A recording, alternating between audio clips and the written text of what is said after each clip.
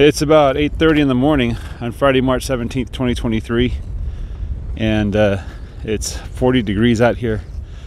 There is a cold wind blowing from the north, quite strong, and I am freezing. I wanted to quickly check on see what the cows did last evening, yesterday evening, with that double area I gave them, and uh, compare. So this is what they did and this is the previous three and a half days and the week before that. So that's what we got. I, I don't know if it's much different. I certainly noticed the cows seem to be happier. They weren't mooing at me. Could just be because it's cold. We got some pretty decent grass here in this area. Um, I don't know they look to be pretty happy. It's hard to tell. Uh, when uh, the vernal equinox is coming up, and I think yesterday was the vernal equilux. That means there was 12 hours of daylight, 12 hours of nighttime.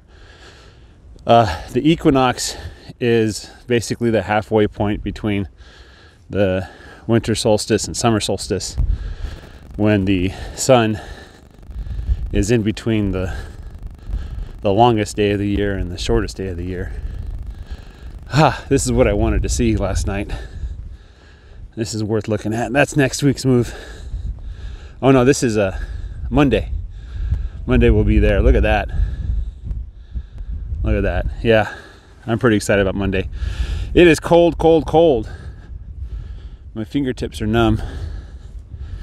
And uh, I'm not happy right now. I have my coat on but it's not quite enough to keep me warm from all the wind. Here's number 24.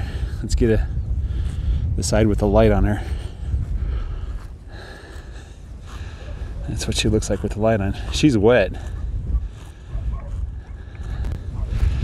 Anyway, let's take a look at some other. That's 21 over there, isn't that?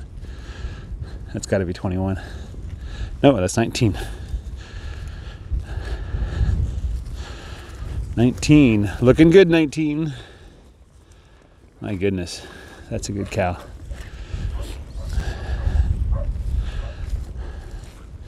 Let's go find 21. I think that's 21.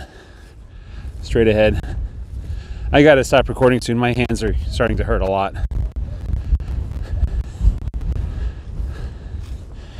Twenty-one. Look at you. My goodness. Do you even have a hip bone? Oh, there's a bump there. All right, guys, with that, I'll be signing off. Have a great day. Take care. Bye bye.